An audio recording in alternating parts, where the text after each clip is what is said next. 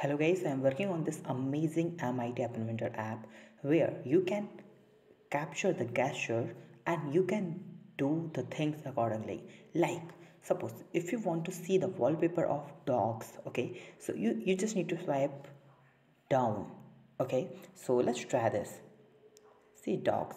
When you do the swipe down, so you'll find the dogs images, dogs wallpaper when you do the swipe uh, up okay?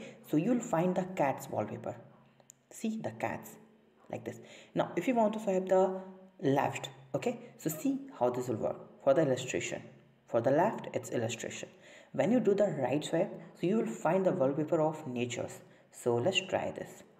See.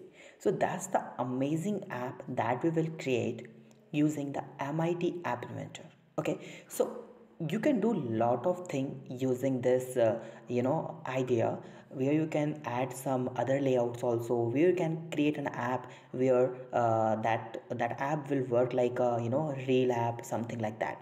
So that's a really fantastic app. Tomorrow we'll learn how we can create this app step by step. If you have any suggestion for this app so just comment on the video. And add more features in this. So please subscribe channel like this video and share this video. Have a nice day. Be safe. Bye bye